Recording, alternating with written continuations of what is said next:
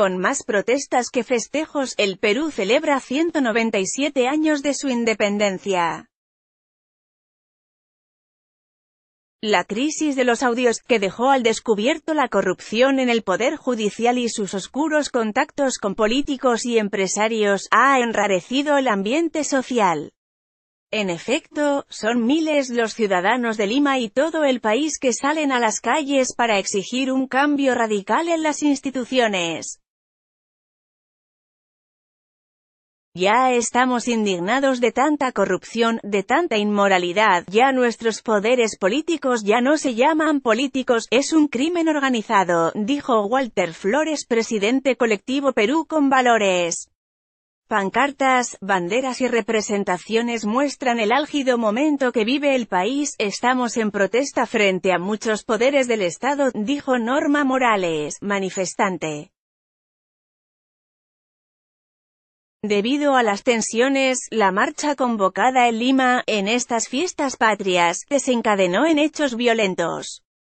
Este manifestante con muletas hace retroceder al carro rompe manifestaciones. Foto, Reuters, el presidente de Perú, Martín Vizcarra, planteó una la reforma del sistema judicial mediante un referendo en medio de este clima beligerante. El presidente Martín Vizcarra, acudió este sábado al Congreso para dirigirse al país. Los recientes episodios de gran corrupción han desencadenado una crisis política e institucional sin precedentes.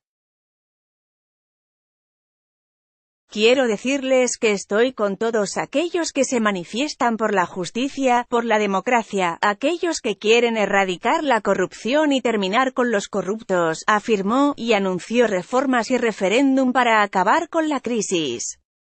No podemos quedarnos con los brazos cruzados.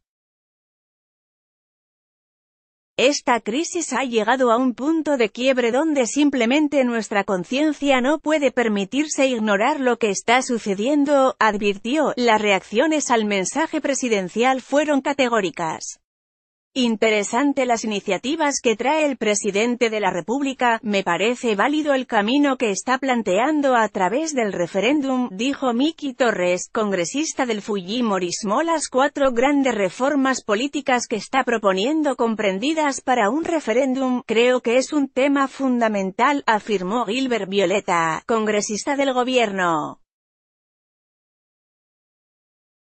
Tras reemplazar hace cuatro meses al presidente Pedro Pablo Kuczynski y en medio de la crisis actual, el presidente Martín Vizcarra sorprendió por su firme posición contra la corrupción y la audacia de sus reformas. Habrá que ver ahora qué dice la población y si le brinda su respaldo. Foto, Reuters, el presidente de Perú, Martín Vizcarra, planteó una la reforma del sistema judicial mediante un referendo con información de Ricardo Burgos. FSR